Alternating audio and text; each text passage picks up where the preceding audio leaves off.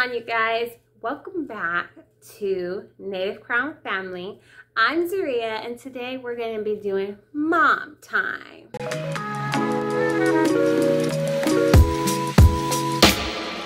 In today's video, I'm going to show you three modest outfits that you can wear while pregnant. Let's get into the video.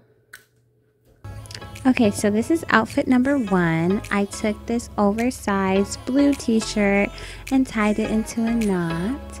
I have these beautiful earrings which are silver and blue. And then I made this halter top dress.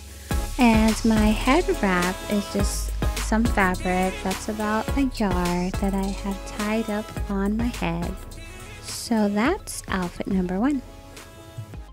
So this is outfit number two. It's just a long kimono that I made as well.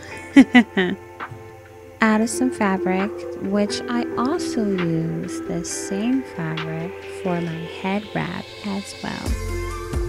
That I had left. Um, the earrings are simply some big rhinestone silver earrings.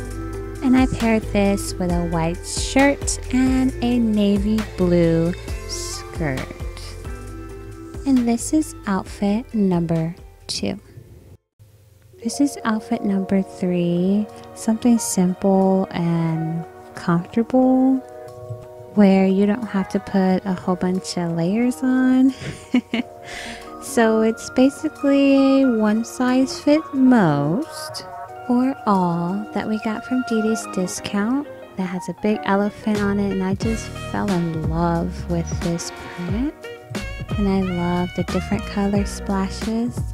So I paired this with these red earrings these small little earrings as well as a black head wrap. I think this outfit is one of my favorite ones to go to because it's simple and it's still cute and you can wear it around the house and look fabulous and not be looking bummy or like you're in cleaning clothes. You know what I mean?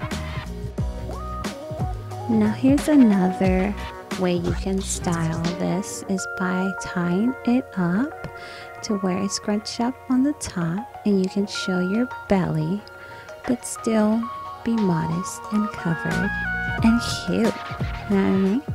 Cute. Comfortable. You know what I'm saying? So that's it, guys. If you like these videos and want to see more like this, go ahead and hit that like button. Make sure to subscribe and follow us on all our social medias. With that, I say peace.